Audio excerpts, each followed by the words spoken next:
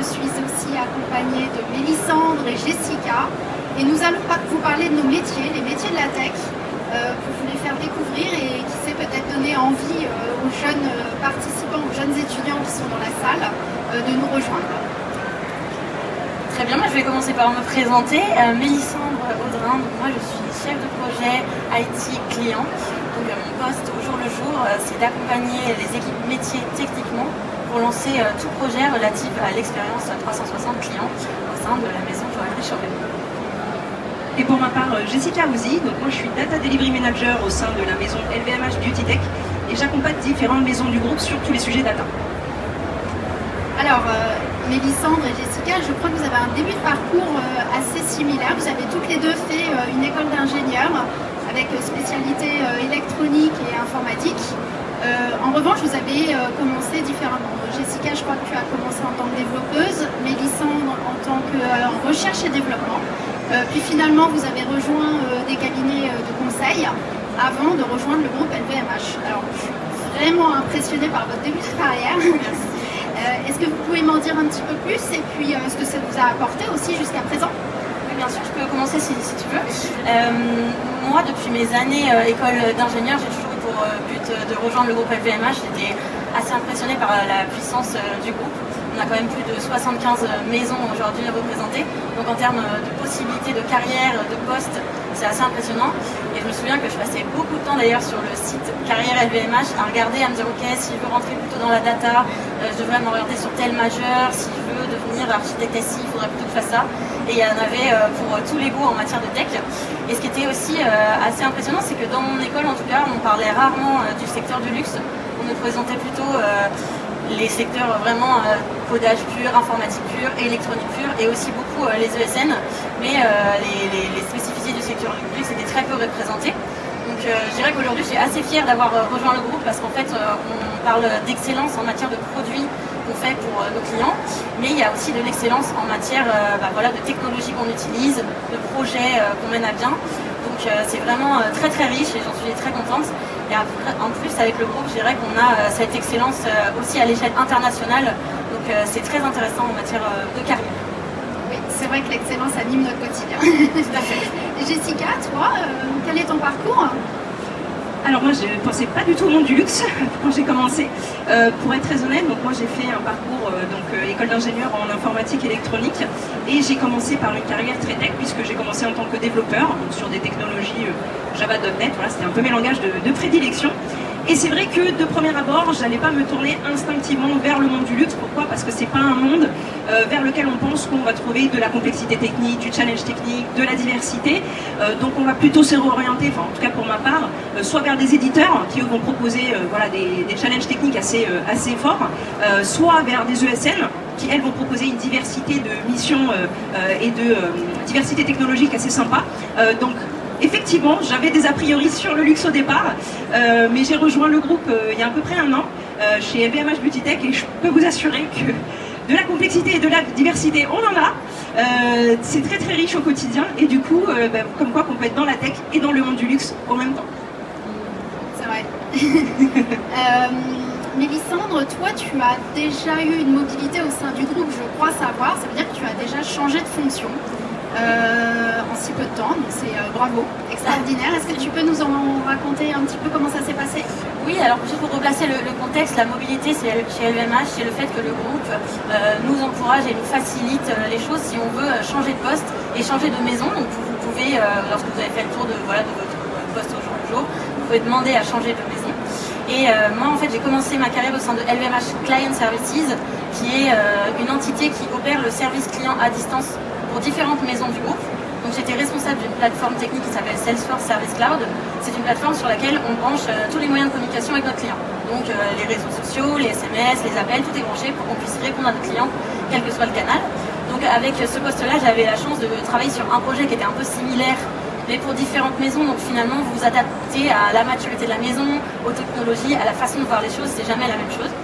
Et en fait, euh, j'ai eu un alignement de planète parce que j'étais en mobilité au bout de trois ans. Voilà, je voulais voir autre chose, être dans une maison. Et la maison Chaumet est venue nous voir pour monter leur service client, donc ce que je faisais déjà. Et en fait, voilà, alignement de planète, moi j'étais en mobilité, un poste est ouvert, j'ai passé les entretiens et je suis arrivée au sein de la maison Chaumet. Et aujourd'hui, la différence que j'ai dans, mon poste, c'est que je suis passée d'un projet similaire pour différentes maisons à une seule maison cette fois-ci, mais une diversité de projets encore plus variés c'est super quand vous êtes chez LVMH parce que vous pouvez vraiment euh, faire évoluer votre carrière et jamais travailler de la même façon en fonction des maisons pour lesquelles vous, travaillez et des projets sur lesquels vous êtes. Donc euh, c'est une vraie, vraie opportunité, un, vrai luxe finalement, une fois qu'on est dans le groupe, de pouvoir faire euh, ces mobilités. C'est vrai que le groupe, avec ses 80 maisons, offre une richesse extraordinaire. Toi, Jessica, donc tu nous l'as dit, ça fait un an à peu près que tu es chez LVMH Beauty Tech, donc la mobilité, c'est encore un petit peu tôt pour y penser, mais en préparant le talk, je crois que tu, tu nous as partagé euh, à quel point euh, tu avais euh, des expériences diverses tout au long de... Tout à fait. Et juste pour compléter ce que dit Mélissandre, c'est vrai que le fait d'avoir la possibilité de faire des mobilités au sein de LVMH, ça permet de se dire qu'on est capable de se renouveler au sein du groupe. Donc le jour où on a fait un petit peu le tour sur son poste, on sait qu'on a la capacité et les opportunités soit de changer de poste, soit de changer de maison, soit de changer de division. Donc il y a énormément d'opportunités euh, dans le groupe. Et c'est ce qui fait aussi que ça renforce notre engagement vis-à-vis du groupe. Donc pour ma part, comme le disait Karine, je suis arrivée il y a à peu près un an, donc je ne ressens pas forcément le besoin de faire de mobilité aujourd'hui. Par contre, j'ai la chance, moi, de travailler avec plusieurs maisons. Donc j'en ai trois à mon actif aujourd'hui. Donc j'ai un petit peu l'impression de faire des mobilités tous les jours avec les différentes maisons, puisque chaque maison, en fait, va apporter son univers en termes de culture, en termes de stratégie, en termes de complexité technique et fonctionnelle. On a différents stakeholders, on a différentes contraintes, etc. etc. Donc c'est déjà un monde très riche, très challenging et très divers. Et euh, c'est vrai que euh, du coup, euh, j'ai eu la chance, dans ce contexte-là, de rencontrer Karine, puisqu'on travaille toutes les deux étroitement pour la maison Make Up Forever.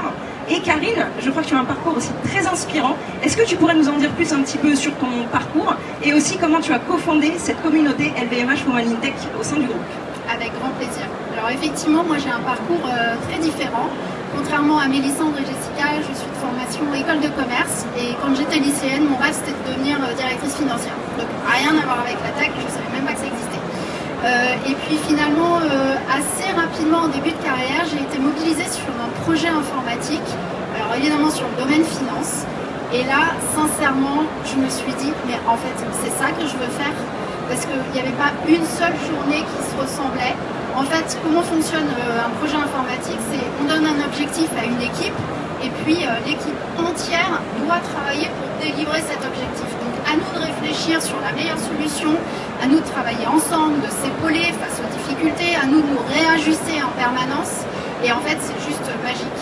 Et donc euh, c'est à ce moment-là que j'ai décidé de, rentrer en direction informatique.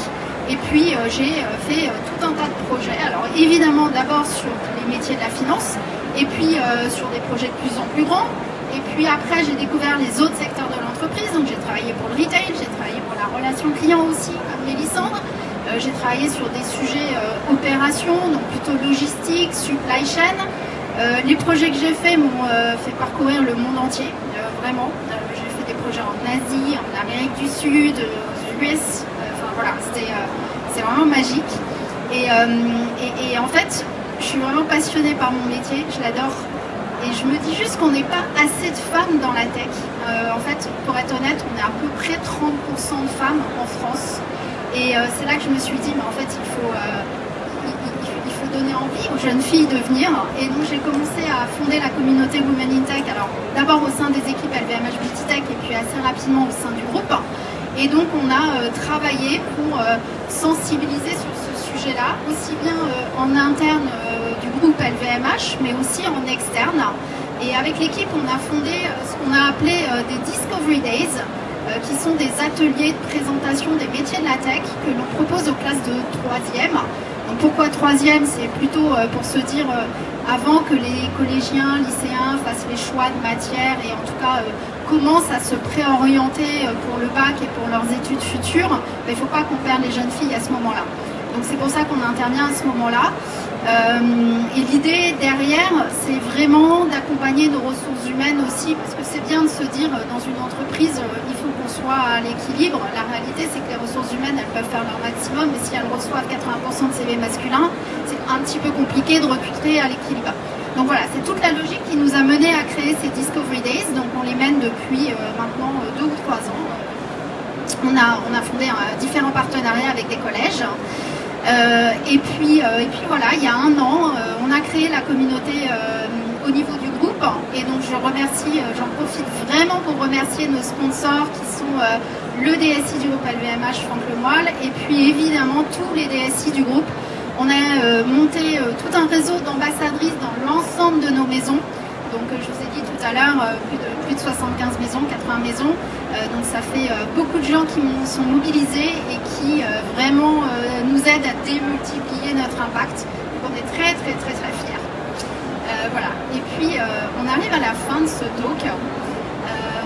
alors avant de vous repasser la parole, je, voudrais vraiment la salle si j'ai juste deux à donner aux jeunes qui se demandent vers quel métier se diriger, etc. Vous l'avez compris, quand euh, moi j'ai commencé, je n'imaginais pas faire une carrière dans la tech. Euh, et, en fait, le conseil, c'est quand vous avez une opportunité, saisissez-la.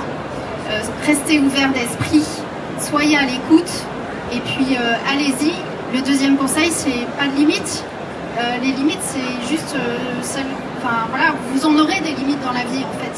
Donc ne vous en mettez pas vous-même et allez-y, foncez quoi tout à fait d'accord avec toi. Et si moi je devais rajouter un, mot de la fin, je dirais que pour driver une carrière, je pense que c'est très important d'être proactif. Euh, il y a des choses qui peuvent s'aligner des fois, euh, voilà, les, planètes comme on disait tout à l'heure. Mais c'est aussi très important de savoir, ok, je veux aller où d'ici un an si je fais le bilan, c'est quoi mon next step? Alors on parle pas forcément de changer de poste chaque année. Il y a des fois des petits steps qui sont importants à faire. Mais est-ce que je veux me former sur une nouvelle typologie? Est-ce que je veux travailler avec un nouveau département? Est-ce que je voudrais en savoir plus sur une autre maison ou sur un autre groupe? Mais c'est important de se dire, à la fin de l'année, je suis fière de moi, ma to-do list, elle est remplie. J'avais des objectifs, j'ai fait en sorte que moi-même ça avance. Donc la proactivité, je pense que pour moi, c'est vraiment très important, que ce soit sur LVMH, mais dans n'importe quelle carrière. Tout à fait. Alors de mon côté, je vais vous donner trois conseils, mais ça s'adresse vraiment à tout le monde, qu'on soit homme, femme, tech, pas tech, luxe, pas luxe, peu importe. Le premier, c'est apprenez à vous connaître pour savoir répondre aux questions qui je suis et qui je veux être. Ça paraît trivial comme ça, mais je vous assure que ça n'est pas. Pourquoi c'est important? Parce qu'en fait, une fois que vous aurez, vous aurez la réponse à ces questions, vous verrez que c'est un vrai booster de confiance en soi et d'estime de soi. Et vous allez en avoir besoin dans vos carrières. Le deuxième conseil, c'est vos valeurs. Connaissez vos valeurs, elles vont vous driver toute votre vie, que ce soit dans votre vie professionnelle ou dans votre vie personnelle. Aussi, elles vous aideront à choisir la bonne entreprise. Pourquoi? Parce que vos, valeurs reflèteront celles de l'entreprise et vous aurez plus de chances de trouver l'entreprise dans laquelle vous épanouirez. Enfin, le dernier conseil, c'est oser. Oser, essayer, oser, oser vous tromper. On vous reprochera peut-être de ne pas y arriver, mais jamais d'avoir essayé. Merci. Merci.